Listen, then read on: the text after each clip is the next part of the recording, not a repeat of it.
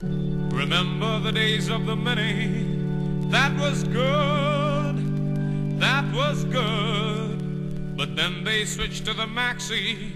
Never should, never should. The mini came, the mini went. It didn't last too long. And now the girls are getting smart.